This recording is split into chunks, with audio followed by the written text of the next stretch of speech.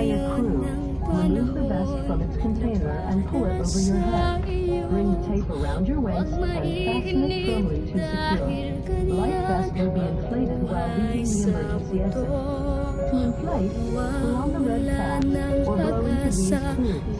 When the life vest is in touch with water, a light will automatically illuminate. Infant children's life vests will be distributed by the crew and must be inflated before leaving the aircraft. Smoking weed and electronic cigarettes is strictly prohibited on board. All lavatories are moment to review the safety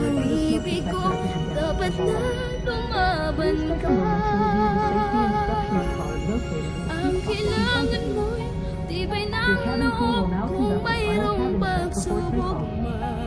Thank you for your